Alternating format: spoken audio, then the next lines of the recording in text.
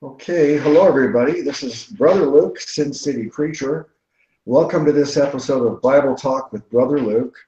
And today I'm continuing my conversations with Brother Jason Jack. And we're doing a series called 101 Verses Proving Faith Alone. And we're about two thirds of the way uh, discussing all these 101 verses. Uh, so we're going to pick up today where we left off last time. But I'm just glad we're here, brother. We had the technical problem. I don't know how you fixed it, but it worked. I know. I'm not very good at this technical stuff. Yeah, well, after, hopefully after two hours, remember, maybe you'll be able to remember what you did next time we uh, do one, and, and we'll see. Okay, are you ready for the first verse? Yep. This is Acts 26, verse 18. To open their eyes and to turn them from darkness to light and from the power of Satan unto God, that they may receive forgiveness of sins and inheritance among them which are sanctified by faith that is in me. This is um, Paul speaking to um, King Agrippa. And basically starts in verse 14 by quoting the words of Jesus when um, he was Saul. And um, you know he saw Jesus on the road to Damascus. And that's what uh, he's quoting here. Just looking at verse 18 this is actually Jesus speaking, and Paul is quoting what Jesus said.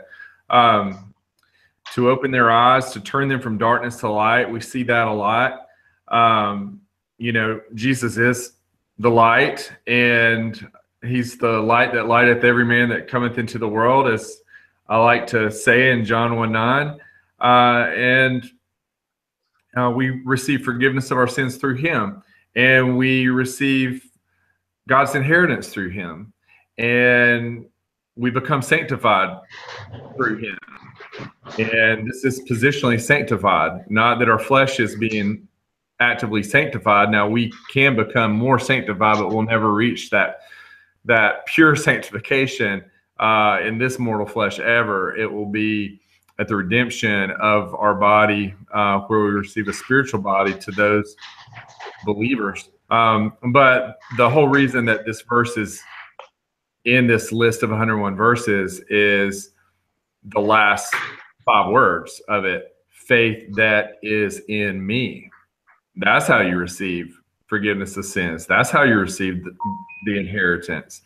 Uh, that's how you receive sanctification. Um, it's faith in Jesus. That's what Paul's saying and, and trying to relate um, to all that were listening, um, including King Agrippa. Well, I would say you said the last five words, but I, I would say it's the last six words because that word by is uh, an important part of that point. It says, by faith that is in me. We could even say seven words, sanctified by faith that is in me. And we talked about uh, some of these words that we come across quite often in the Bible sanctified, justified, you know, uh, salvation, redemption, uh, reconciliation. Uh, they're all kind of related. They don't all have exactly the same meaning, but we, we concluded that sanctified means that you're declared holy and righteous and you're set apart. So, in other words, when we put our faith in Jesus, uh, we are spiritually set uh, picked up and moved into this camp, a group of people uh, that, that, are called saints, and uh, God says we're holy, we're righteous. Okay, uh, and and that that happens at the moment we believe. It's um, sanctified and justified. Of course, justified means that uh, God says uh, that I see you just as if you'd never sinned, just if I'd, just if I'd never sinned. Uh, so um, all that happens at the moment of faith, it's an event. It's not a process that we have to work at over our lifetime. Um, so this says that we're sanctified. That means we're set apart and declared holy and righteous uh, by faith that is in me, and that is Jesus. Now, the rest of the verse, uh, yeah, it's interesting. Uh, uh you, that's not really the main uh, point that we want to talk about in this uh, in this particular subject. 101 verses proving faith alone. I think the main thing about this verse is that it says that we are sanctified by faith that is in me, and, and it, do, it doesn't say you're sanctified by faith that is in that is in me as long as you repent of your sins and get baptized and circumcised and so on. It doesn't say that anything else. It just period. You notice there's a period. It says that by by faith that is in me. Period. Right. Wow. I guess Luke, Luke, uh, according to Lordship Salvations, Luke must have been a heretic because he put a period there. He should have put continued on saying all the other things that are required for someone to be sanctified. okay, uh, let me look at that. Uh, let me see. I've got so many things up now uh, here um, as far as programs running. I hope it doesn't affect my speed mess me up in any way, but uh, I want to look at this page here to see there's a chat room. So I, I have actually am looking at my chat room now and I'm not seeing anybody. Is anybody watching this? Let's see. Okay, we have zero viewers, so obviously there's nobody, uh, you know, in the chat room and making questions. But I'll keep an eye on that now because I, I found a way of accessing that while we're talking. Uh, so are you ready to go on to the next verse? Uh, anything else uh, need to be said about this one? Now I think we can go on. Okay, so the next one is Hebrews 725. Let's see, let me find that in. Oh gosh, oh, there. No. My Bible Gateway program here, I'm not finding it. Uh, well, let me see. I guess I'm going to have to pull it up. Gosh, I've got so many things minimized now. I don't know how I lost the Bible Gateway program. Let me see. Control V, enter. Okay. All right, so here it is in the KJV. Wherefore he is able also to save them to the uttermost that come unto God by him, seeing he ever liveth to make intercession for them. And obviously, this is talking about Jesus Christ, and this is a comparison of uh, the law, the Old Testament, um, and the New Covenant made the better Testament, as it says in verse 22, um, through Jesus Christ, and specifically through um, his blood, the redemption through his blood. And, you know, the, again, the, the point here is we come unto God by him. It, you know, that's the key here. It's by him um, through Jesus. There's no other way, you know. Jesus says, I'm the way, the truth, and the life. No man cometh unto the Father but by me. Um, and he saves them. He say he saves whoever, whosoever will, um, you know, freely receive Jesus. He receives them to the uttermost. Um, you know, that's the uttermost. That's like the, the most extreme, the highest you can receive somebody. That's how he receives us. Um, and he does this forever because Jesus is God. He lives forever. He's the Alpha and Omega.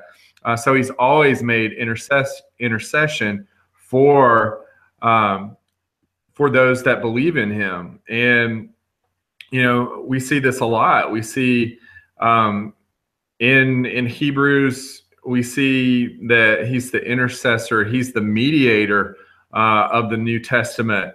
Uh, you know, an intercessor and mediate mediation are very similar terms. You know, it's uh, the act of intervening on behalf of someone else, and that's what Jesus does for us. Um, you know, we're dead in our sins. We can't do anything um, through our efforts, through our works, to receive the free gift of eternal life. But we don't have to. We simply trust in Jesus' finished work on the cross, and He intervenes for us. He becomes our intercessor, our mediator um, of God's promises, and and that's what this is saying. But I, I love this verse because, um, you know, it, it's it signals that to come into God, you come through Jesus Christ, and that once you place your faith in Jesus Christ, it's forever. He lives forever to make intercession. So he's never going to stop once you come to him. Um, and the uttermost, you know, the most extreme, the highest um, that you could be saved, he saves you. Yeah, I, this is a fantastic verse. Um, and the word uttermost, you know, how often do you hear the word uttermost today? Um, but it's a great word uh, telling us that you couldn't be saved any more than that. It, it, it's impossible to, get be saved any more than saved to the uttermost.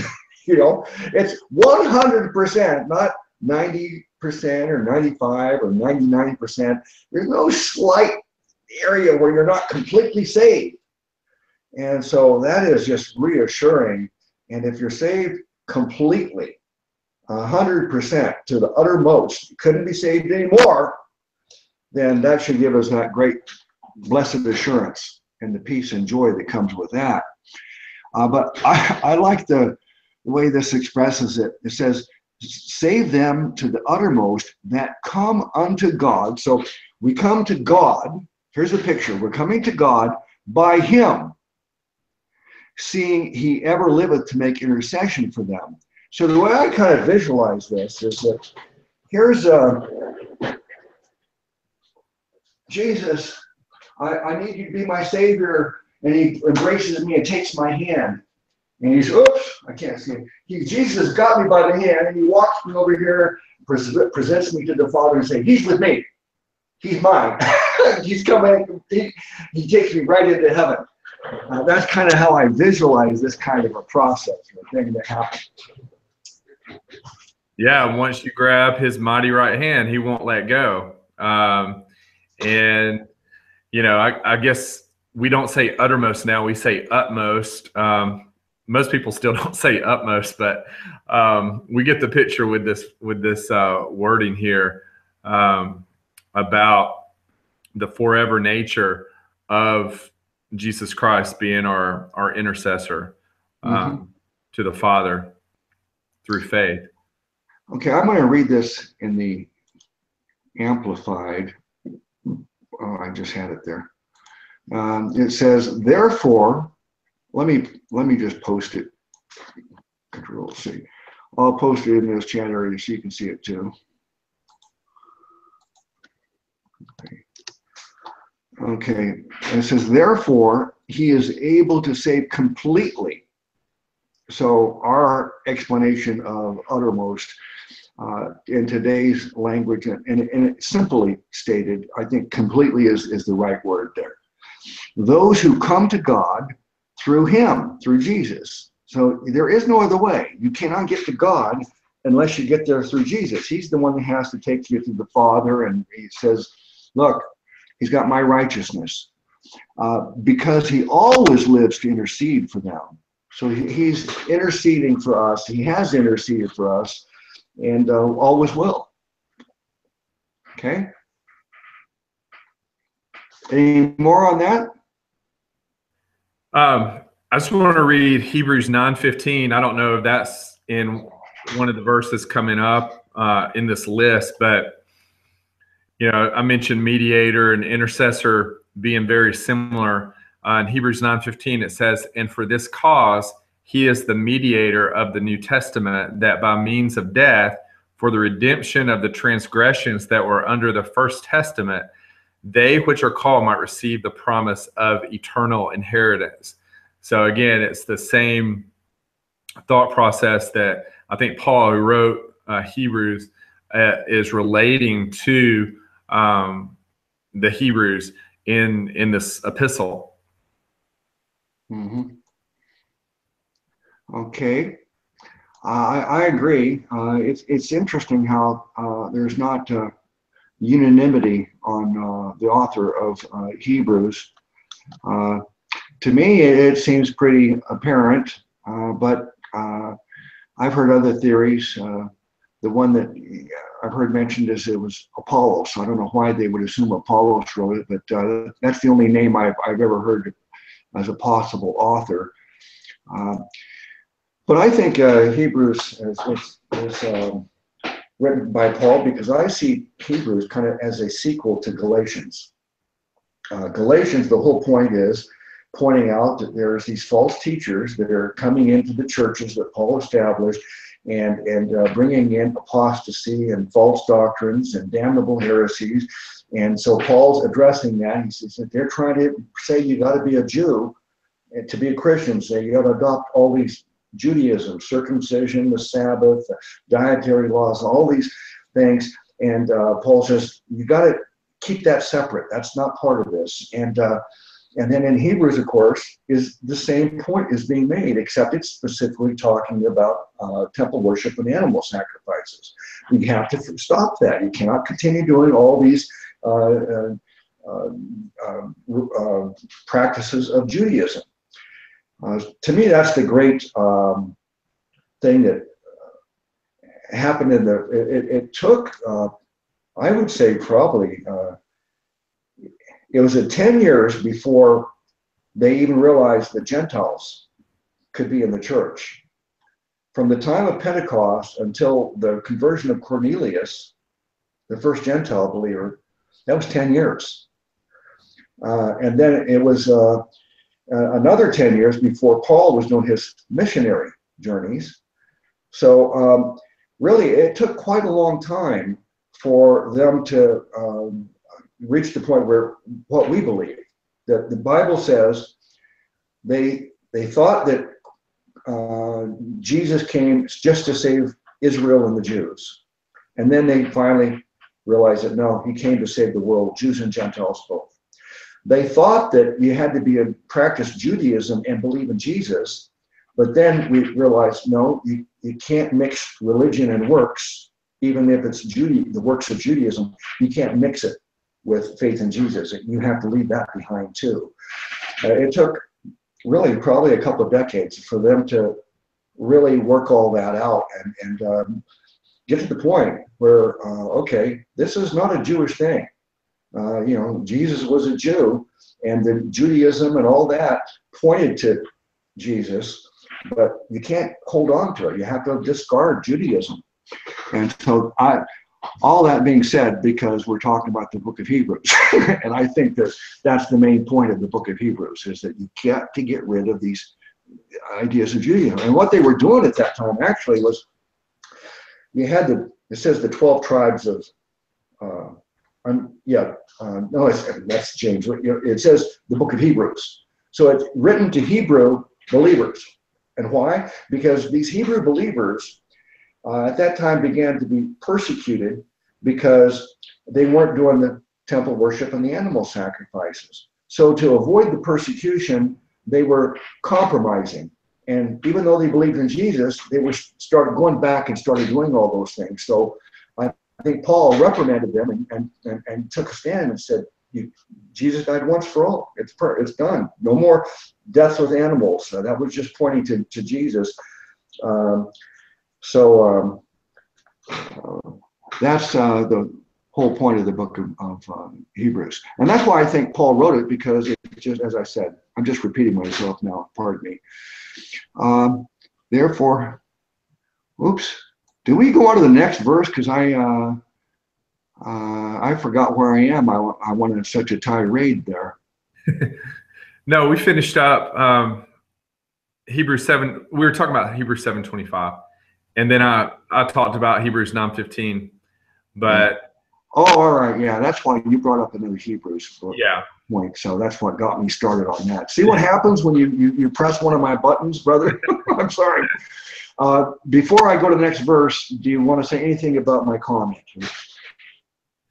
Um, no, I think that's well said. You know, Hebrews is is um, a great book on um, about turning from you know turning from dead works to faith unto God, and like you said, you know, Galatians does the same thing. People were coming in in the church of Galatia trying to bring in um, the bondage of the law to new believers, and Paul's message was, you know, don't let anything be added to the true gospel of Jesus Christ, or it's an accursed gospel. Anything that you add to it, such as circumcision, um, in the book of Galatians, is is one of the um, mentions of what what um, these people are trying to bring into the church. Uh, and in Hebrews, you know, um, there are a lot of Hebrew servants of the law still that the law had never had not got them yet as the schoolmaster to their faith to put their faith in Jesus Christ, but it had others, and all these people were, you know, these Hebrew believers and non-believers were all together, and the unbelievers were trying to get the believers back under the law, and they weren't sure, like you said, uh, what to do. So, you know, again, I think Paul uh, is writing uh, to them to say, you know, don't get back under the law. The, the law's never saved you. Um, you know, you have a better sacrifice, uh, Jesus Christ, the perfect sacrifice. Um, and so that's what, you know, all these chapters are leading up to. And then, you know, as we see in um, the latter chapters in specifically six through 10, we really see him hammer that home. Mm-hmm. So the next verse is uh, Romans 3.10 and it's it's even only a, like a, a partial sentence, a little piece of a sentence here. Uh, it says, "As it is written, there is none righteous, no, not one." And uh, okay, go go first. Yeah, we can. And did you see that the next verse seventy one is Romans three twelve? which basically is a repeat of the same phrase, you know, quoting Psalm 14. So we could probably just put these all together and um, and hit two verses together. Do you see that yeah. list? Uh huh. Yeah, let me put that there. I'll paste that. So I'll read it while you're putting that up there in Romans 3:10 and I'll just read Romans 3 10, 11, and 12.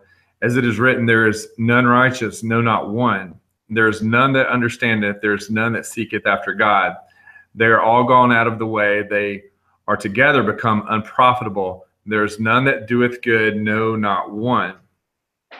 And this is uh, Paul quoting Psalm 14, which starts out the fool has said in his heart, There is no God but then goes on um, to say, There's none that doeth good, no, not one. And so, you know, this is the beginning of Romans Road. And, you know, Romans Road being a way to share the gospel with others um, and point to Jesus Christ as our Savior and his death, burial, resurrection on the cross, and how to receive that through faith um, as as we know in Romans 10. But um, you know, Romans 3 begins that road that we must first understand that we're sinners. We need a savior. And this is a great couple of verses to point that out. Um, Romans 3:23 later on in this chapter also being another one of those verses for all have sinned and come short of the glory of God. Um, so when I've talked to people, I think I don't know of anybody that has ever said that they have no sin before before receiving salvation. Now I know a lot of self-righteous people that think that they have uh, sinless perfection afterwards, and and they're not righteous either when they're trusting in their own words. I think you know, this verse apply is very applicable to to share others, um, to begin that gospel with others, to to show why we need a savior, um, that we're not righteous, and and that we have broken God's spiritual laws, and the wages of breaking those spiritual laws is death, and specifically the second death, uh, spiritual death. Um, but the gift of God is eternal life through Jesus Christ our Lord. So I think most people understand this. Here's the thing I have a problem with on some of the soul winning that I see is, and I'll just point like Ray Comfort, for instance, who teaches this lordship salvation.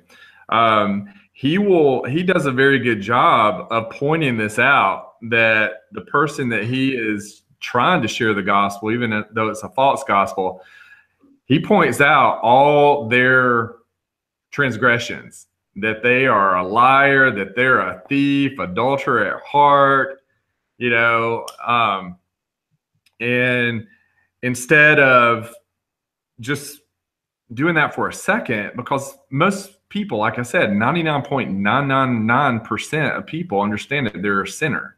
Uh, really don't have to go over that that much, but he stays on it and he says, "Well, you're a sinner. Now you have to repent of those sins and turn from all those sins and turn from being a liar and turn from being a thief and turn from being an adulterer of heart." So he never uses the law properly. He he uses the law improperly. He uses it to get them under the bondage of the law instead of using it to point them to Jesus Christ. He he's trying to show people that they once they believe in Jesus Christ that they can uphold the law and that's part of salvation. But the law was placed to show that we couldn't uphold it and we needed a savior who fulfilled it perfectly in Jesus Christ. Um, so these verses, I think probably especially in in the 21st century where we see so many accursed gospels on every church um, you know and in every city on, on, many in many churches that are teaching this repent of your sins um, for salvation heresy. I think that these verses are applicable for for them those who think that they have turned from all their sins and that's part of salvation. We need to point them back to these verses say, no, you're still, there's no sinless perfection. Um, you haven't reached holiness. Um, there's no one righteous, no, not one, including you still. Uh, the only way that we can be saved is not by works of righteousness we have done, but according to his mercy, he saves us. We we receive Jesus Christ's righteousness through faith, um, and he imputes his righteousness unto our account again, he's our intercessor, our mediator uh, in doing that um, before the Heavenly Father. Mm-hmm. Well, I think that the, uh, the word good, you'd think that uh, it would be a really simple thing to, um, when the Bible says no one is good, um, it shouldn't be so hard to understand and so hard to accept. I don't think, but but I've I've used that verse hundreds of times in my witnessing with people, and um, because if you ask people if they're going to go to heaven and why, almost everybody pleads their case based upon their their goodness. I I think I'm a pretty good person, you know.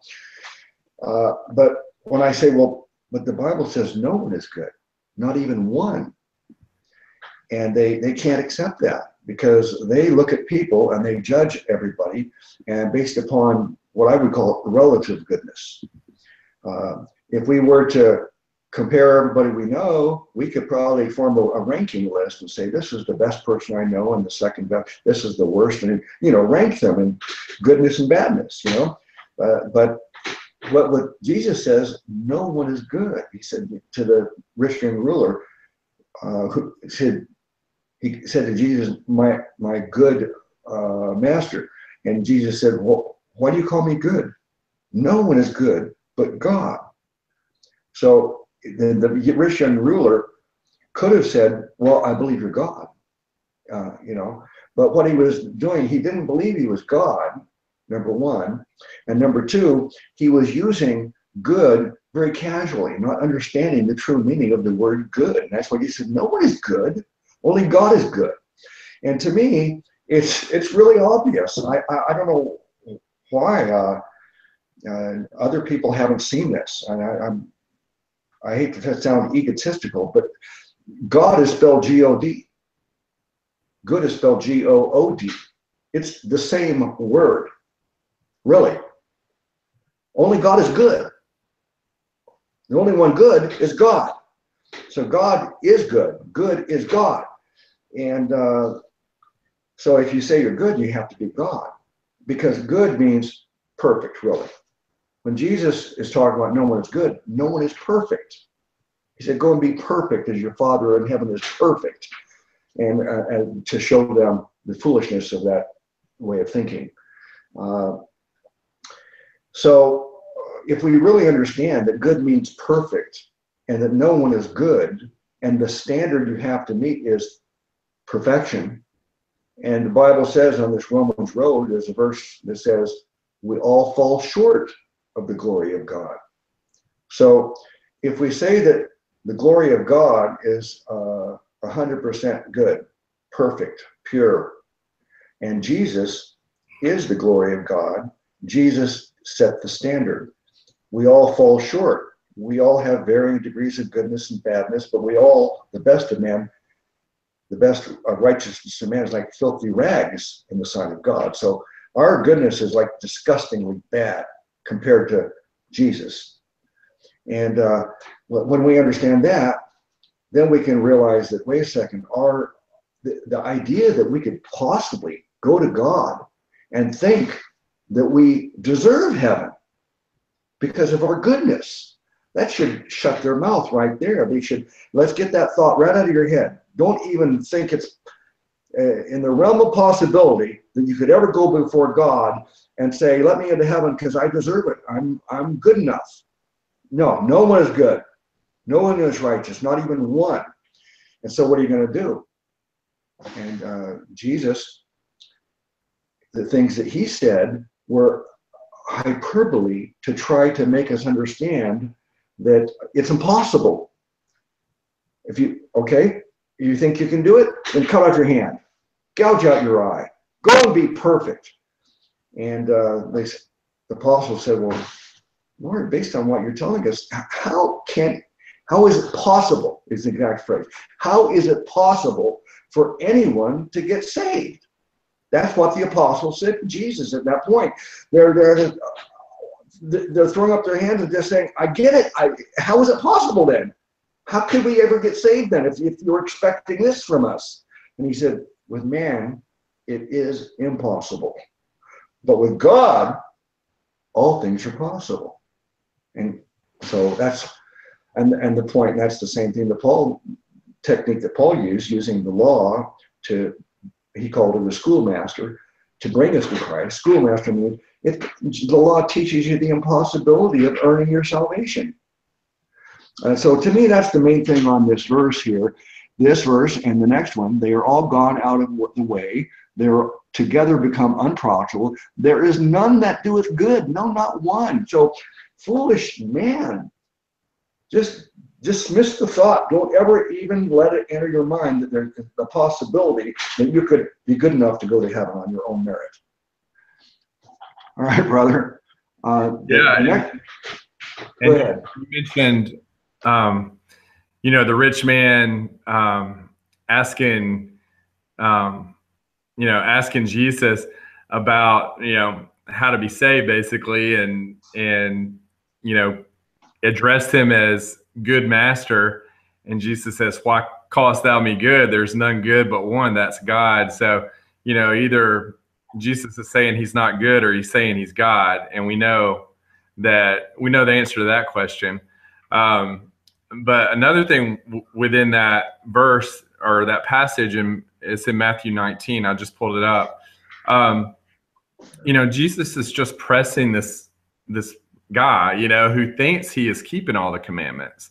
Um, so he's he's Jesus is telling him some of the major commandments, you know, in the Ten Commandments, and um, and the young man, you know, the rich young man says, "Oh, I, have done that since my youth." Um, so Jesus is just going to keep going uh, until um, he either makes this point to the young person that the, the young rich ruler that no matter what he does, it's not going to be good enough, um, and that he needs to have faith in him, or like the young rich man, he walked away disappointed because he had much riches. He he didn't get it, um, and a lot of people still don't get this passage.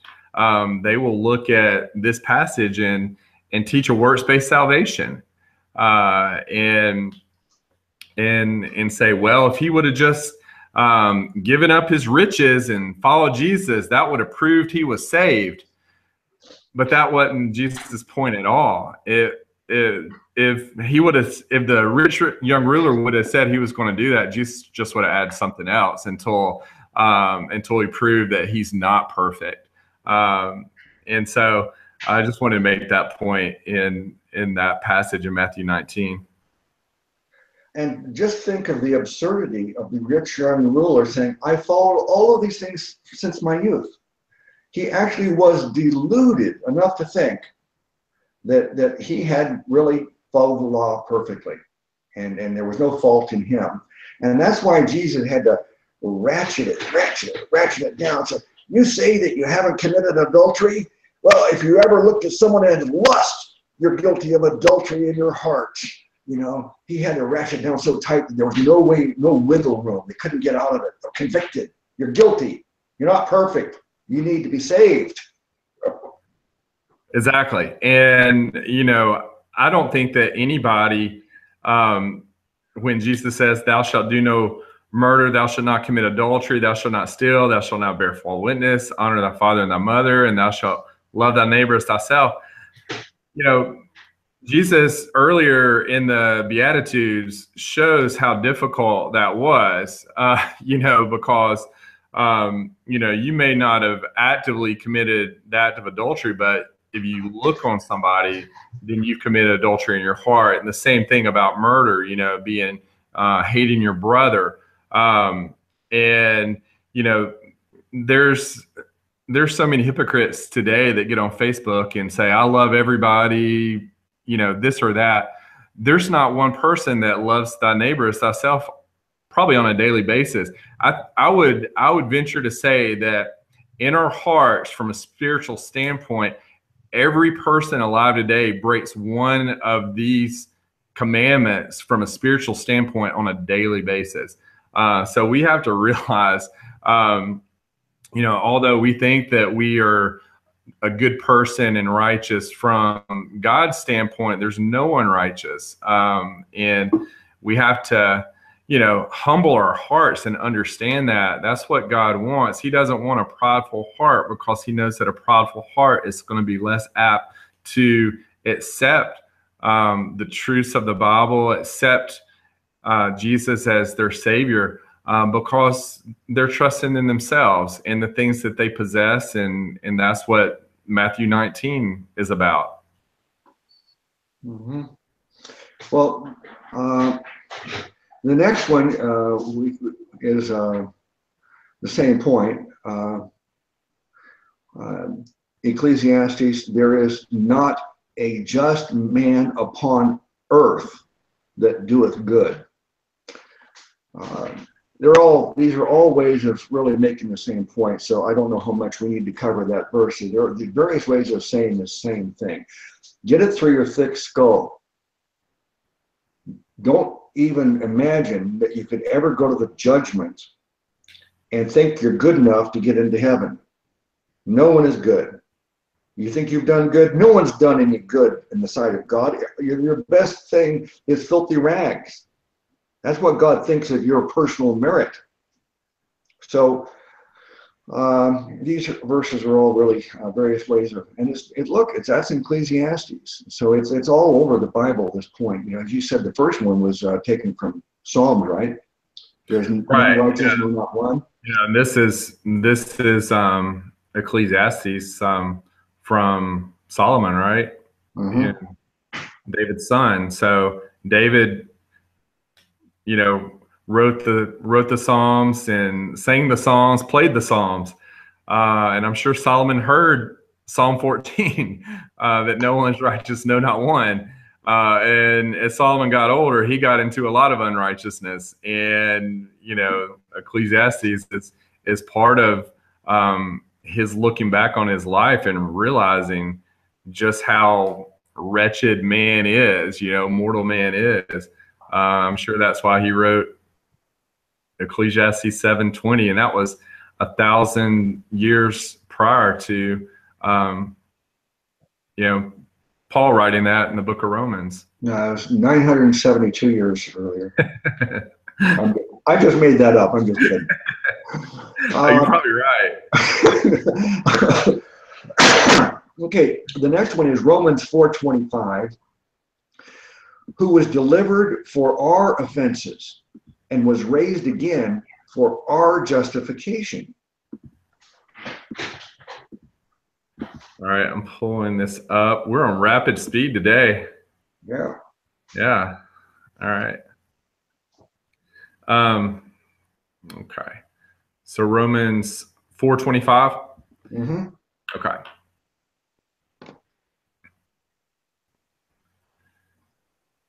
I'm just reading the verse before.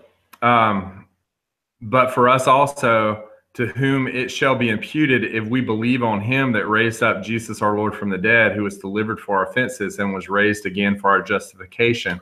Uh, so, verse 25 shows Jesus Christ, his death, basically his death, burial, and resurrection, the gospel. You know that, um, you know, according to Scripture, he he was died and and was buried and rose again on the third day, uh, and this is pointing that out um, through New Testament Scripture.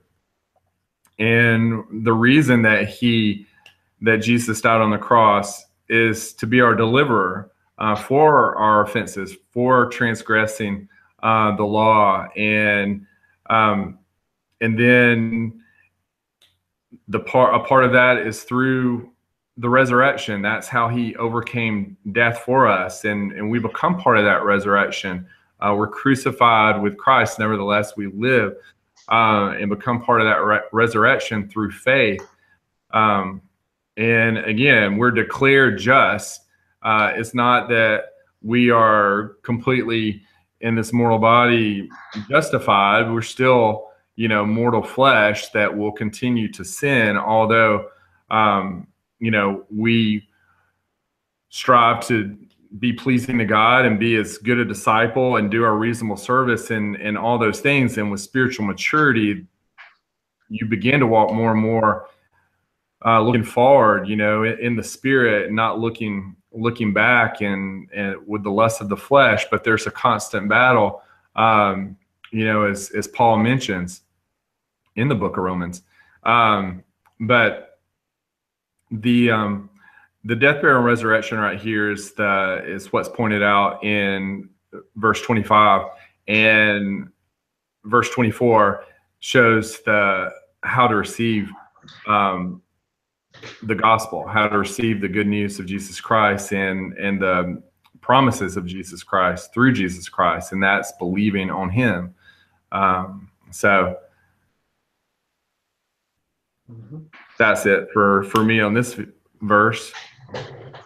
Uh, the the earlier verses, uh, one after the next, uh, was driving home the point to make it clear to everyone that um, you've got to admit, you need you need to realize and admit that you're in a helpless situation. There's nothing you can do. You can't help yourself out of this. Recognize, uh, feel, God, I have no hope. I have no hope. It's a helpless, hopeless situation for all of mankind. Uh, and I don't know if there's this TV show I've watched a few times over the years. It was just too depressing. It's called Intervention. Where it's real sad. People who are alcoholics and drug addicts and stuff there, and their families have an intervention and try to rescue the person and, and pull them out of their addiction and help them and stuff. And they, um, that's God. God loves us so much that He intervened, realizing that man's situation is hopeless. There's nothing he can do. He could never be perfect on his own. So he loves us so much. God intervening. God came down from heaven. God manifested in the flesh as the Son of God. He became a man. Jesus said, Do not think I came to be served, but to serve and to give my life as a ransom for many. So he had to become a man in order to die. He had to die as a ransom a ransom is a payment made to someone to set someone else free. So we need to understand our situation is helpless and hopeless, and that that makes us realize we need to call on the name of the Lord. We need to do what the uh, uh, publican did in front of the temple. God have mercy on me, a sinner. He recognized I'm just a sinner. There, there, there's no hope. God have mercy on me. And now we realize the God that will can have mercy and save us is Jesus Christ, God manifest in the flesh. So we call on the name of the Lord once we realize that we need Him. We can't. That's why you talked about that way of the master and Ray Comfort and all that. That you know they they their process is let's convict people, make them understand they're guilty, and then they need to be uh, saved by Jesus. But then the problem is they say Jesus' death and uh, for your sins. It's not enough. You got to make a commitment to stop sinning, and you better stop. You know, otherwise, you know, Jesus did his part, but you didn't quit sinning.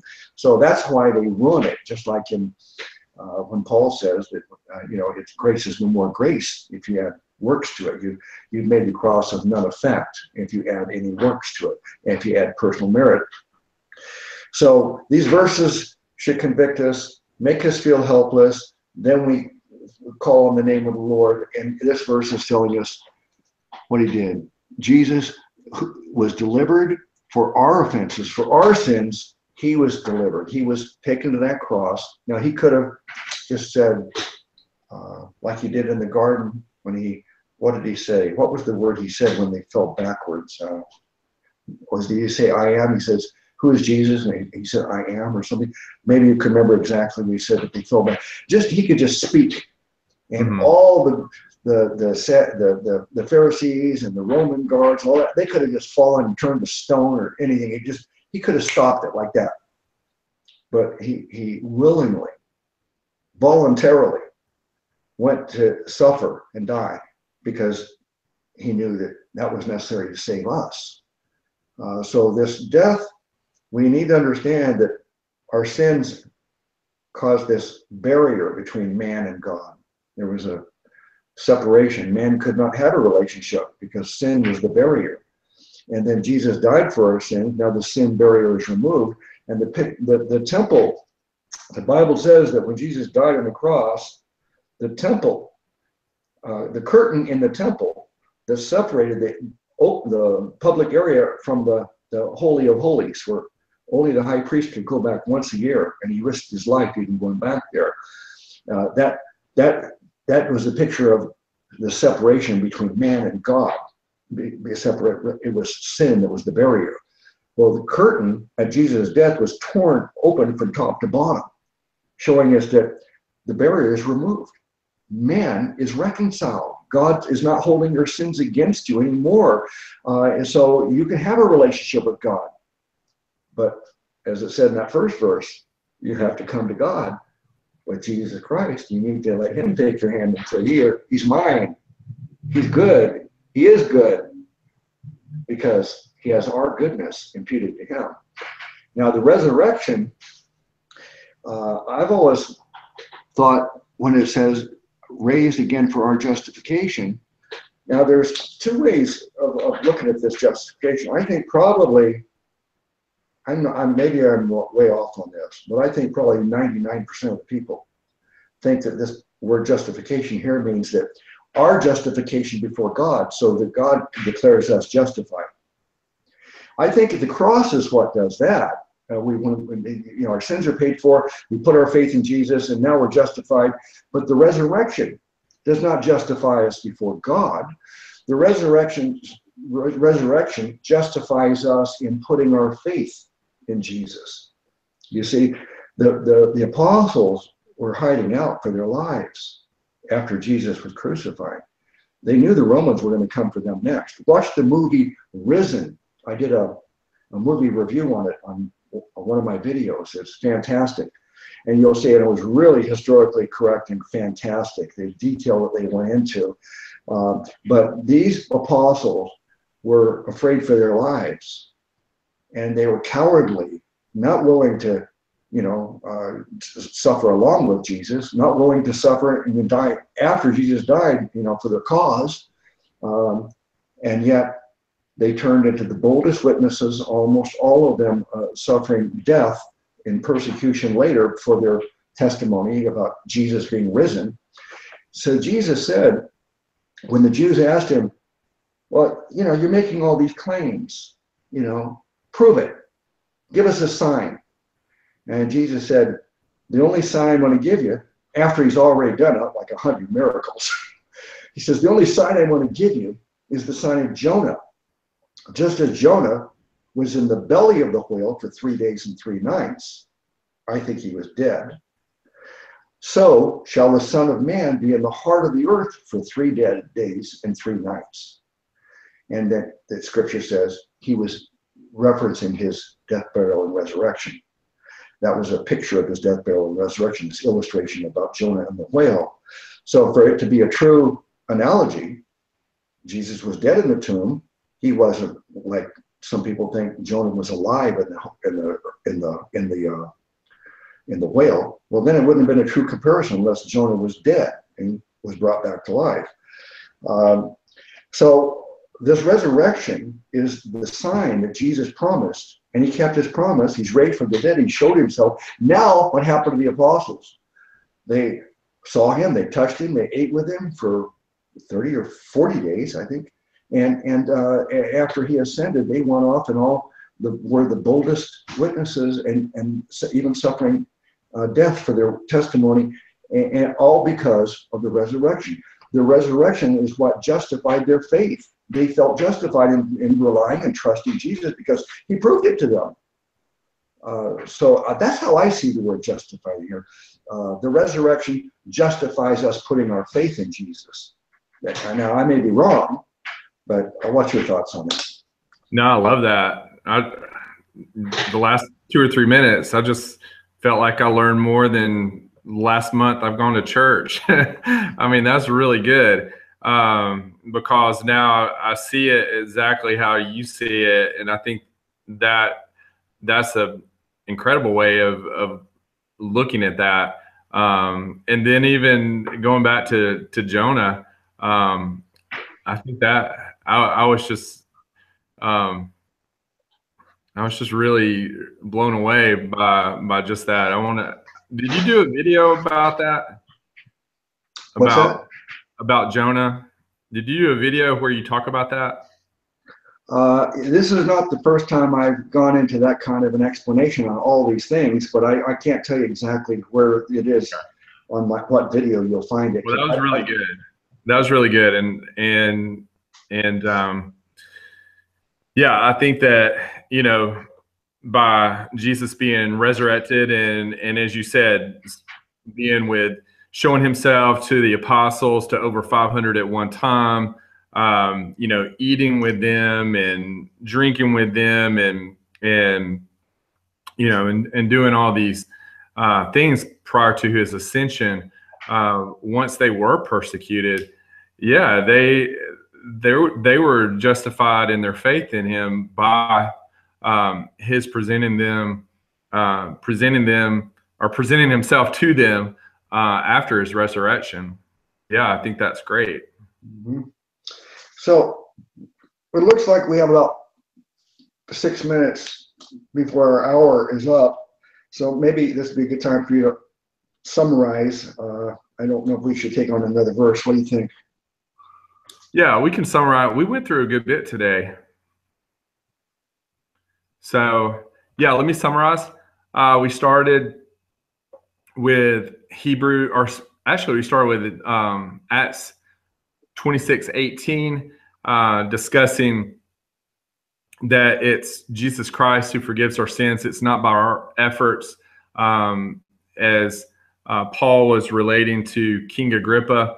Um, and you know, going back to that, he he almost that's one of the times where you see somebody almost become a Christian, but not quite. you know, King Agrippa says, "You almost have me to become a Christian." Uh, at the end of his, so you could tell this was a really powerful um, um, speech that Paul gave here in Acts 26, and um, you know maybe it planted that seed where King Agrippa didn't um, come to faith and put his faith in Jesus Christ at that point, but hopefully uh, in the future he did. We just don't know. Um, but then we go on to Hebrews 7:25, where Jesus is our intercessor. He lives forever uh, to be our intercessor. He saves us to the uttermost or the utmost, um, and we come to God by Him.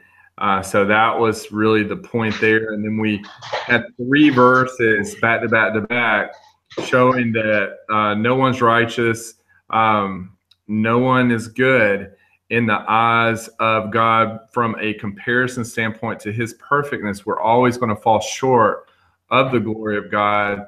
Uh, and we need to understand that, you know, it's not our, it's not being a good person. It's not doing good works that um, gets us to heaven.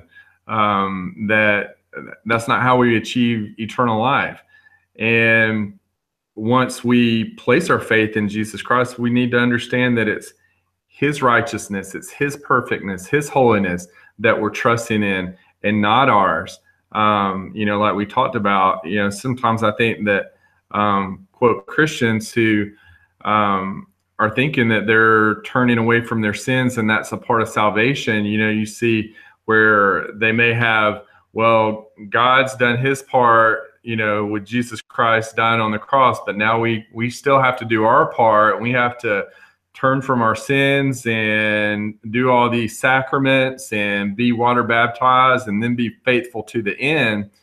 You know, we need to show these passages over and over. Yeah, you can do all that. Uh, you can quote, you know, be faithful unto the end, but regardless, you sin every day and you're not good. No one is righteous compared to God's righteousness. Um, and and get somebody that may be mixed up in this lordship salvation false gospel heresy to get them from looking at themselves and what they're doing and looking at others and comparing themselves to how um, others live and either um, getting them to strive to live better or puffing them up in pride because they think in their mind they are living better and that they're saved because of their efforts um, and and you know sort of knock them off their high horse and and say you know quit looking at yourself. Uh, when it comes to salvation it's not what we do it's what he did. We should have our focus on jesus christ praising him giving all the glory to him for salvation. It's not anything we do. Um, and so that's the way I also look at those verses in Romans 3:10 through 3:12 and then in the Old Testament in Ecclesiastes 7:20. And then finally I, I, can't sum up Romans 4:25 any better than you did and uh, I really learned a lot at the well I always learn a lot throughout these videos but uh, really um, learned a lot. That was great though, about that last 10 minutes on on Romans 4:25. Uh, so you know, for everybody watching, uh, these videos are all about um, having putting our faith in Jesus Christ. It's not by works of righteousness we have done. It's according to His mercy. It's His grace through faith that we're saved. It's not of works. It's nothing that we do. Um, and hopefully, this is just another installment in that series to uh, really point others uh, to Jesus Christ depending on him, trusting in him, um, you know, resting in his finished work for salvation. um, because that's what gives us confidence. That's what gives us assurance is knowing that He's our intercessor, He's our mediator, and He's done all the work. And He's resting now too. He's sitting at the right hand of the Father. Um, you know, the work is complete. Um, he it's a once and for all, and it's for all sins, past, present, and future, for all man. Um, and we just need to come to God by Him to receive this free gift of eternal life. Uh, so that's what sort of the message, uh, hopefully, that we can share throughout this uh, video series. Hmm. All right. Well, we certainly had our struggles getting this broadcast started today with the technical issues, but thank you, Jesus. It all, it all worked out. And I'm so glad now that uh, we don't have to use that ancient method of just having you on the telephone. so, uh, to the viewers, um, if you have not seen all the videos in this series, 101 verses proving faith alone, um, all the previous videos are on my playlist uh, on my YouTube channel, Sin City Preachers. I hope you will watch it from the beginning. And if you don't need to be convinced, I, I hope you'll share this playlist with someone who doesn't understand or agree with this. Um, so thank you all for watching. And brother, again, thank you for participating. It's a great joy working with you. So bless you all in the name of our great Savior God, Jesus.